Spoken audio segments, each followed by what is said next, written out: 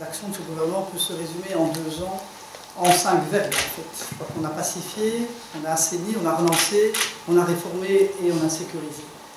Et euh, je voudrais d'ailleurs euh, remercier non seulement euh, l'ensemble des collègues et le Premier ministre, parce que je crois que ça a été rendu possible avec une équipe, même si elle était qui était forte et soudée. En ce qui concerne le CDH les deux ministres, on s'est surtout occupé de réformer pour sécuriser, tant en matière de criminalité qu'en matière de sécurité civile, qu'en matière d'énergie et d'approvisionnement, et enfin euh, en matière de mobilité et de sécurité sur la route. Tout d'abord, en ce qui concerne euh, la sécurité en matière de criminalité, je pense qu'il était évidemment fondamental que nous puissions, malgré la rigueur, euh, malgré les difficultés budgétaires, assurer une présence sur le terrain et sauvegarder des capacités en matière de recrutement.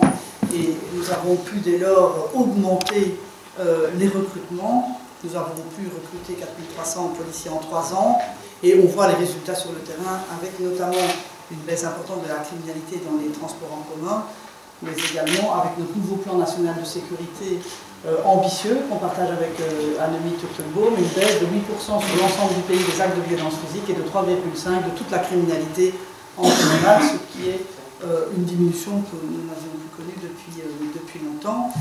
Natuurlijk ook uh, de goedkeuring van het wetsontwerp over optimalisering van de politiediensten.